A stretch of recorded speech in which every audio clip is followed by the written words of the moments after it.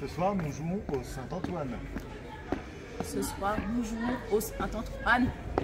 Ce soir, nous jouons au Saint-Antoine. Troisième